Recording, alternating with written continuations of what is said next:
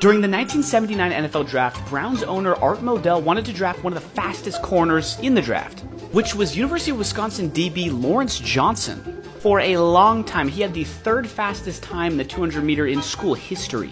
And Modell calls him up and goes, Lawrence, welcome to Cleveland Browns. You're our second round selection. And Johnson goes, Oh my gosh, I had no idea I'd be drafted this soon. Most people told me I might be a free agent.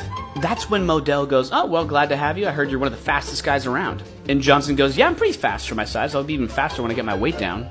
And Modell goes, How much do you weigh? And Johnson says, 290. Modell, whose eyes were huge at that moment, cups the phone and goes, We just drafted a 290 pound corner.